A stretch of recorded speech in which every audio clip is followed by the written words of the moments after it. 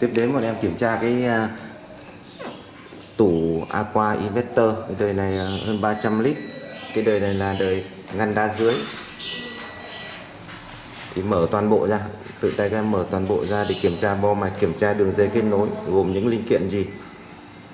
Nhá. Mở hết đấy đây là ngăn trên. Em tháo cái mặt à, ra rồi luôn. Ngăn bảo quản đây là ngăn phía ngăn đá phía dưới. Đấy. Rồi, cứ làm đi. Tự kiểm tra hết nhé. Thì về cấu tạo của cái ba cái bo này là cái tủ này nó cũng có ba ngăn đúng không? Ngăn mát ngăn bảo quản và ngăn làm đá. Thì trong ờ, cấu tạo của những cái phần trong ngăn này nó có cái gì ta phải nắm được hết. Và cái đường kết nối đấu nối dây nó như nào nó gồm những linh kiện gì nó hoạt động như nào thì ta phải thực tế đúng không đã kiểm tra mạch rồi, bây giờ tính thực tế là sơ đồ dây.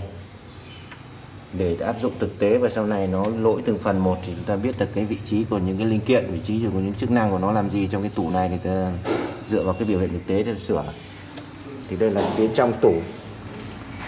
Chúng ta ra phía bên ngoài thì ta xem cái cái sơ đồ ở thông thường tủ lạnh thì nó có cái sơ đồ đấu nối dây đây. Thông thường nhé. Nó cho biết chúng ta nó kết nối rắc CN bao nhiêu, kết nối với cái gì? Đó. màu dây gì? Ký hiệu đầy đủ nhé với cái đời về tủ lạnh này nó có hai cái bo. Đây, thứ nhất là cái bo này là cái bo chính điều khiển toàn bộ cái cái tủ. Và cái bo thứ hai là cái bo công suất nằm ở phía dưới này. Giữa bo chính và bo phụ là nó liên quan đến nhau là đường cấp đường 220 xuống và cái phần gì ạ? phần giao tiếp nha ta đã vẽ sơ đồ rồi ta biết. Phần giao tiếp. Với cái tủ à, lạnh à, aqua này thì giao tiếp thì là một chiều. Nghĩa là khi à, chúng ta cắm tủ lên à, trên cái bo chính này nó kiểm tra toàn bộ cái kết nối mà à, đầy đủ ok hết thì lúc này nó mới đưa ra cái giao tiếp để điều cho cái bo công suất này chạy nhé còn bo công suất này chạy được hay không thì bản thân cái thằng này nó xem nó lỗi. Chứ nó không có cái đường à, giao tiếp qua lại như ở một số đời tủ và một số cái um, máy lạnh. Thằng này nó chỉ đưa lệnh xuống cho cái phần công suất chạy. Vì vậy à, chúng ta xác định rõ là nó liên quan đến nhau là đường cấp nguồn xuống và cái phần giao tiếp một chiều. Đó về phần bo mạch. Thì trên cái bo mạch này chúng ta đã thấy nhiều cái cái cái, cái rắc kết nối. Đó. thì uh, quan trọng là phải xem được là cái, cái, cái dây đấy nó làm gì chức năng gì trong cái cái, cái, cái bo mạch này dây cấp nguồn đâu. Đấy cái nhìn vào cái bo cái ta phải biết là đâu là cấp nguồn 220 vào nhá. Này cầu trì tụ về của áp. Đấy đây là nguồn sung. Đa số trong cái tủ lạnh này mới giờ nó sử dụng nguồn sung. Nguồn sung à, hạ áp trực tiếp là nhiều. Còn đây là không sử dụng hạ áp mà đây sử dụng nguồn uh, xi xin nhá. Đây nguồn của biến áp. Lấy ra một cái điện áp. Còn à, phải kiểm tra là các cái, cái rắc kết nối này nó kết nối với cái với cái linh kiện gì đấy. Đâu là đường ra block nhá đâu là ra pha băng đâu là xuống quạt đâu là ra hiển thị đâu sensor đấy. Thì sơ đồ đã có sơ đồ khối có sơ đồ vôn có. Bây giờ thực tế các em mở ra thì kiểm tra từng cái à, à, bo mạch linh kiện của nó xem nó kết nối như thế nào. Để trong quá trình sau này chúng ta sửa chữa cho nó sẽ gặp những cái ban bệnh nó sẽ biểu hiện từng cái máy. Chúng ta phải nhìn cái sơ đồ ta viết thì cái sơ đồ đấu nối nhé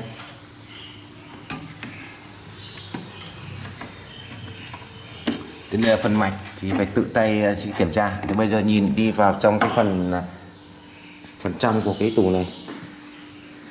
Cấu tạo của nó ba ngăn. Cái này ngăn mát. Cho cái cái mặt của nó đâu? Ngăn mát này gồm có gì nhỉ? Gồm có công công tắc cánh cửa. Để mỗi lần chúng ta mở ra đèn led này, đây đèn led thì nên nó sẽ sáng để chúng ta lấy đồ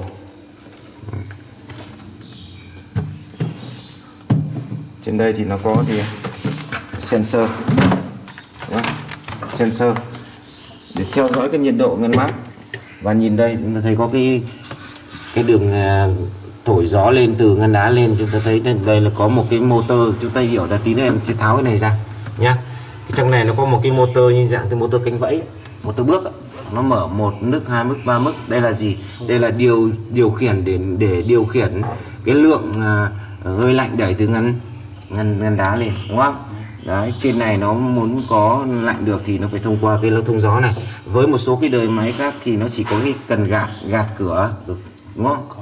Còn những cái đời inverter này nó lại điều khiển đưa gió ờ, đưa hơi lạnh lên đây lên ngăn mát này nhiều hay ít thì phụ thuộc vào điều khiển cái motor. Cái motor tí em sẽ kiểm mở ra xem cái, cái motor nó hoạt động như thế nào và nó cấu tạo như thế nào. Đấy nó sẽ điều khiển cho motor mở nhiều hay mở ít tùy vào lúc cái thời điểm một tủ bắt đầu chạy thì nó mở hết ra. Đến lúc mà cái ngăn mát này nó đã đạt được cái ờ, độ lạnh đúng không? Độ mát thì lúc này vi xử lý nó thông qua sensor nó nhận biết được thì lúc này nó lại khép bớt cái cái, cái, cái cửa đưa lên, lên. Ta qua hiệu quả đây là cái cửa gió lên đưa gió lên đưa hơi lạnh lên nhá. Đấy thì cái đây là cái dây sensor kết nối vào.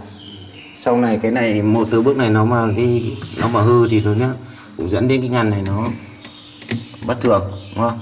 Lúc này ta sẽ kiểm tra đây dây kết nối của nó là gì. Gồm 4 dây kết nối điều khiển. Đấy. Sensor. Đấy. thì đó là cái ngăn ngăn mát. Gồm có sensor, đèn led và điều khiển điều khiển motor. Tiếp đến là cái ngăn này là cái ngăn gọi là cái ngăn bảo quản. Cái ngăn này nó lại lạnh hơn ngăn mát và lại không lạnh bằng ngăn đá để chúng ta để những cái đồ bảo quản. Thì trong cái ngăn này thì chúng ta thấy là nó có một con sensor đây. Thì đây là con sensor để theo dõi cái nhiệt độ ngăn ngăn bảo quản này nhá. Với cái đầy tủ này thì cái uh, mạch phá băng ở cho cái ngăn đá dưới này thì có rồi nhưng với cái ngăn bảo quản này nếu chạy là thời gian lâu thì cái ngăn bảo quản này có vẫn có có hiện tượng là nó sẽ đóng đá đóng tuyết ấy.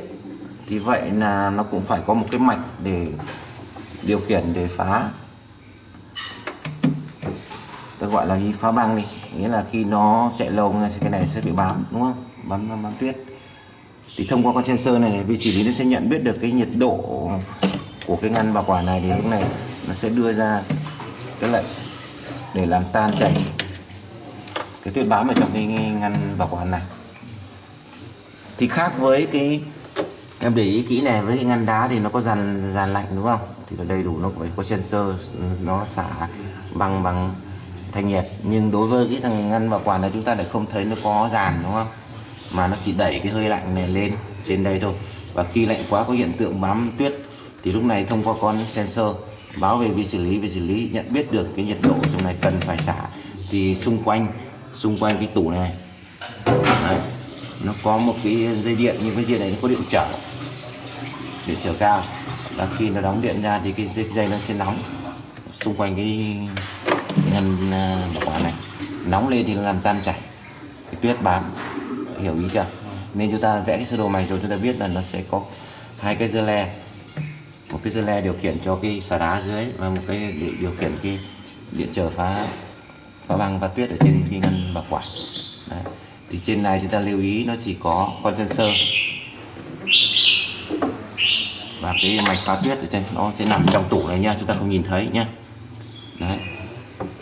thì còn cái ngăn dưới ngăn dưới thì cũng như giống như mọi các tủ khác thôi, chúng ta sẽ có ba loại tủ chúng ta sẽ kiểm tra tất cả nhá. Thì bây giờ ngăn dưới này chúng ta nhìn thấy đây là toàn bộ cái phần này là phần dàn lạnh. Để theo dõi cái nhiệt độ của dàn lạnh này ngăn đá này thì nó phải có cái sensor đúng không? đấy em sẽ xem dò thêm với cái dây kết nối cái sensor đây. Nó kẹp ngay dàn này. Và sensor này theo dõi cái nhiệt độ đóng băng của dàn. Đấy, để báo về xử lý. Khi nào thì cái dàn này bám đóng băng thì nó cần phải phá đi để cho thông thoáng tục hai nữa, chúng ta nhìn thấy cái thanh đốt nhá. Cái thanh đốt để xả băng. Đi cùng với thanh đốt là chúng ta phải có cái điện trở nhiệt để bảo vệ cho cho tủ khi trường hợp mà cái mạch phá băng này nó bị chập, nó hỏng, nó chập, nó cứ chạy suốt, nó nóng quá. Con điện trở nhiệt này nó khi chịu được 7 80 độ C là tự nó đứt. Để nó ngắt điện đi vào cái phần xà đá. Hiểu không? Đó quan trọng bây giờ là chúng ta học về về mạch, về cấu tạo à, về sơ đồ khối, về sơ đồ nguyên lý rồi thì bây giờ ăn thua lại phải đi vào thực tế nữa. Là cái tủ thực tế nó như nào, cấu tạo như nào, cái phần nào, chức năng của từng nào nó nằm ở đâu. Đúng không? Thế sau này bây giờ chúng ta sửa thì chúng ta phải biết được nó là cái phần đấy nó nằm ở đâu, nó làm cái chức năng gì. Sau này tủ nó sẽ hư, nó sẽ biểu hiện. Biểu hiện như gì? Không vào nguồn, lốc không chạy, không xả băng, quạt không chạy chạy ờ, không lạnh đó. đó là cái biểu hiện của tủ thì chúng ta nắm được tất cả cái khối của nó rồi nguyên lý hoạt động của khối rồi và chúng ta kiểm tra thực tế này để sau này gặp những cái tủ bất kỳ nào chúng ta cũng phải xác định được nó là cái gì, đúng không kết nối vào Đấy. thì bây giờ em phải thực tế là sẽ kết nối bo mạch vào và em sẽ dò cái đường dây mạch, đường dây chạy lên tủ gồm phần mạch và phần cơ cứng nhé Đấy. Với cái đời này nó còn có sensor đây này trên đây nó còn còn sensor và theo dõi cái nhiệt độ ở ngoài ngoài trời. Đấy. ta phải biết được là nó cấu tạo nó có cái như cái ba không để ý những cái sensor này mới mỗi cái sensor nó bị lỗi. Thì nó cái không cho tủ chạy đúng không? Đấy. Ta phải biết được là chức năng của nó làm gì nó ở vị trí nào đúng không? Rồi bây giờ em thực, thực tế đi bọn em thực tế bây giờ là đo kiểm tra dây cho. Còn đây là cái mặt hiển thị đây, đây. Để chỉnh nhiệt độ nhiệt độ ngăn đá nhiệt độ ngăn mát. Bây giờ kết nối vào đi. Đo thực tế thôi. Nha.